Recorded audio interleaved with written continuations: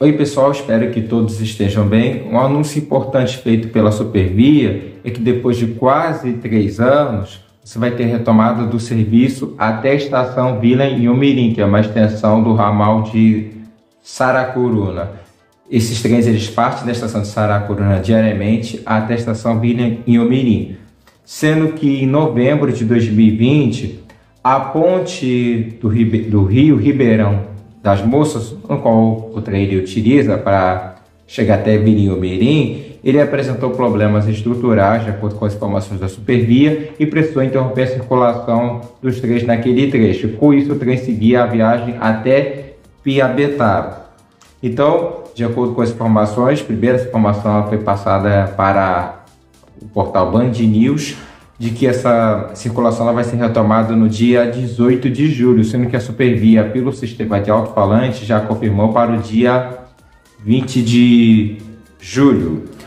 E, de acordo com as informações do portal Band News, a Getran disse que as obras foram concluídas em dezembro de 2020, quando aplicou duas multas à Supervia no valor de 147 mil reais, 147 mil e trinta reais e 96 centavos devido à falta de conservação da ponte sobre o rio Ribeirão das Moças e também devido à prestação de serviço inadequado aos usuários.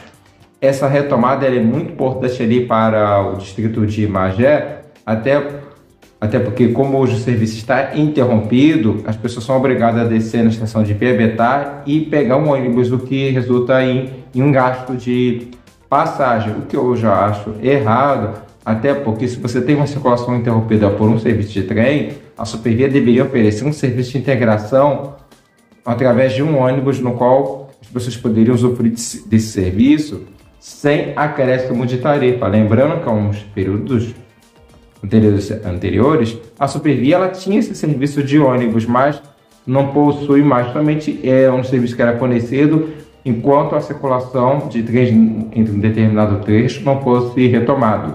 Ele tinha serviço entre Japeri e Paracambi quando é, tinha o um período de manutenção no trecho, como é feito geralmente aos finais de semana, geralmente aos domingos. Assim como no ramal de Saracurano também é feita uma manutenção e isso a Supervia anuncia constantemente no seu sistema de alto-falante. Então é isso, gente. Essa é uma boa notícia. Vamos aguardar essa retomada que eu acho importantíssima ali para aquela região. E mais novidades eu vou atualizar aqui no meu canal. Eu ficarei por aqui. Até a próxima.